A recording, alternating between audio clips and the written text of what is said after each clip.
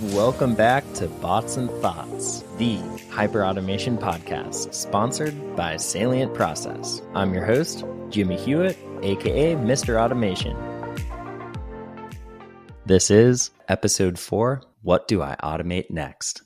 The reason we've prioritized this episode for you listeners is because it's not only one of the most common questions that directors of intelligent automation and hyperautomation practitioners ask themselves, but it also begs a few considerations across a couple of dimensions. As far as episode structure goes, we'll start by establishing two guiding principles at the outset and then get into two considerations and what they mean in the context of deciding what do I automate next. Let's jump in. Guiding principles were not available to the earliest adopters of hyperautomation practitioners. So, to give credit where credit's due, thank you to the early adopters because your efforts to date have given this hyperautomation community two guiding principles that we all can benefit from. First up, find the balance between innovation slash experimentation and governance. Allow me to explain. We know that too much red tape can stifle innovation projects, which is bad, but also that a lack of governance, period, can lead an upcoming hyperautomation team awry. This is also bad. Therefore, guiding principle number one is find the balance between innovation slash experimentation and governance. But what does this look like in practice? The answer is find and build a quick win quickly.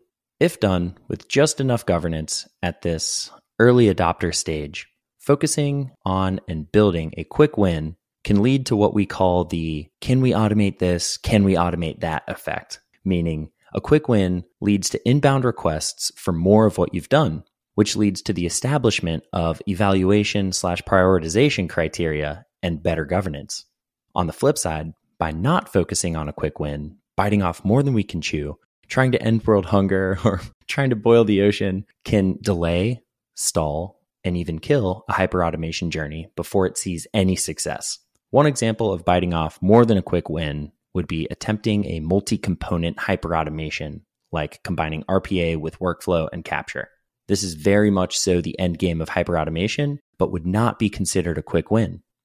So there you have it. Guiding principle number one Find the balance between innovation slash experimentation and governance to achieve momentum and a quick win. The second guiding principle is use evaluation slash prioritization criteria. Let's split this guiding principle into two buckets. One bucket is for evaluating your first automation. The second bucket is for your second and beyond.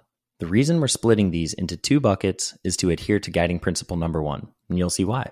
Building your first bot should be done in the spirit of innovation and experimentation. Is this for us? Can we, our customers, employees, and bottom line, benefit from hyperautomation?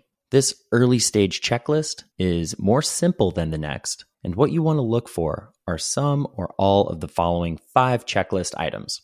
Number one, is this work item or task relatively repeatable and or root a good example of this would be moving information between applications or spreadsheets. Checklist item number two is kind of obvious, but is this work item or task being done manually today? Meaning via copy and paste, or even worse, manually keying in information. Another way to ask this is Is this task so boring that it's painful? Number two is volume. Does this happen a lot, either at random times, on demand, or perhaps on a schedule with a deadline? Each of these checkboxes are important, but volume is a big driver. Number four, is this team experiencing pressure, increased workload, or longer hours than usual? Perhaps is it short staffed or having trouble finding help? Number five is since there is an element of art and science to this, common sense can help as well. What seems like a solid work item, task, or report to automate? These are the five boxes in our quick win checklist. Are any of your processes coming to mind? Whichever one is top of mind, write it down. And this use case will be worth looking into as a potential quick win candidate. For reference, our last RPA quick win had a very low financial barrier to entry. It paid for itself entirely in less than three months and is generating an 8x return year over year for this client. Not a bad quick win. And you can see how this creates the can we automate this? Can we automate that effect? After your first quick win, we move into the second bucket. Intended use for this one is the second bot or the second automation and beyond. I think about it like a rocket ship taking off into space. It needs a rocket to propel it into space. This is your quick win. Then that initial rocket actually separates from the ship and different thrusters are used. Similarly, once you've achieved your quick win, a bit more governance comes into play, and therefore we add a higher level evaluation criteria, which is does this use case align with your North Star? A relative score of 1 through 10 with regards to alignment to your big why. Is it improving customer experience? How about employee experience? Compliance? Cost and time repurposing? ROI? Whatever your North Star is, ensure that you're prioritizing your next automation with this in mind. So there you go. Two guiding principles in evaluating your next automation. Number one, find the balance between innovation slash experimentation and governance and use evaluation or prioritization criteria. Next, let's review two considerations on top of this. Number one, consider your hyperautomation practices level of maturity.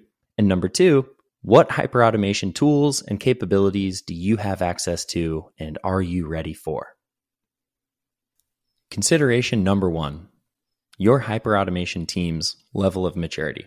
When determining which automation to build next, one size does not fit all. Take into account what automations have you built to date.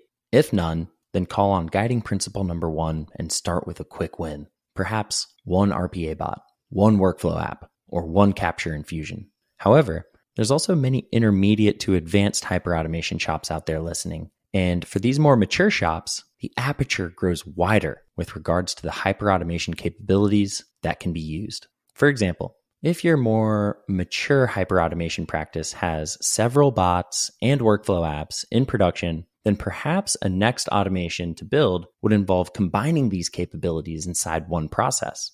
This is the exciting part. As your hyperautomation practice matures, you can combine more capabilities that complement each other as long as it's done in a thoughtful manner with proper governance. Consideration number two is a close cousin and perhaps even a function of your team's maturity. What hyperautomation tools and capabilities do you have access to? The more advanced your COE becomes, the more tools you should have access to. Do you have a platform that gives you everything from process mapping and mining to RPA and workflow, decision management and capture? Or are you just working with an RPA platform? It goes without being said that in evaluating which automation to build next, consider what tools you have access to based on your level of maturity and evaluate accordingly. Let me give an example. If you're just getting started, perhaps your tools are process mapping or modeling and a base RPA platform. This is all you need to get started with your first several automations. But as your quick wins pile up and momentum grows, the business will want more and more. And this is great. You're entering into an intermediate phase of maturity. In this phase, consider adding process mining to investigate a broader breadth of process improvement opportunities, and perhaps even try out a workflow or BPM platform. If done properly, infusing workflow into your business can unlock an entire order of magnitude of value. Now that you're utilizing process modeling, mining, RPA, and workflow in concert with each other successfully, you're ready to take the final step into an advanced practice by utilizing the entire hyperautomation toolkit. What creative and meaningful combinations of RPA, workflow, decisions, capture, and content can be designed and developed to unlock the next order of value? This is the fun part and where we see organizations really truly achieving their North Star. This is where customer experience is optimized, for example. So there you have it. Deciding what to automate next is not as simple as back of napkin ROI. Equipped with these two guiding principles and two considerations, your hyperautomation COE will be standing on the shoulders of all early adopters who have paved the way for your success. In conclusion, guiding principle number one is find the balance between innovation slash experimentation and governance. Guiding principle number two is use evaluation or prioritization criteria. We call this your North Star. Consideration number one is your hyperautomation practices level of maturity. And consideration number two is which hyperautomation tools and combinations of them is appropriate based on this level of maturity. You might be wondering, how on earth can I manage these guiding principles and considerations all in one place? And there's a lot of hyperautomation teams out there using many, many tools in a siloed fashion, even manually, tracking use cases for your hyperautomation pipeline in Excel, mapping and analyzing processes with a combination of Visio, Word, Excel, or perhaps your RPA vendor's automation hub, which exclusively manages RPA use cases.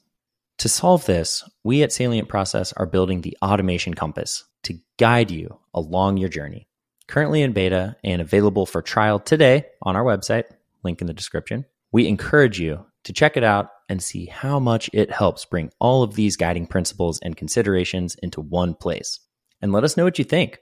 We'd love more practitioner feedback so that this purpose built automation compass tool is as effective as it can be. We hope it helps. What automation do I build next? We can't wait to see. Thanks for listening to another episode of Bots and Thoughts, the hyperautomation podcast sponsored by Salient Process. Be sure to never miss an episode by hitting that subscribe button wherever you're listening to this. Get your hands on more content like this by following us on LinkedIn and YouTube down in the show notes and say hello. We'd love to hear your thoughts, perhaps even on an upcoming episode. Stay tuned for more episodes of Bots and Thoughts, the hyperautomation podcast brought to you by Salient Process.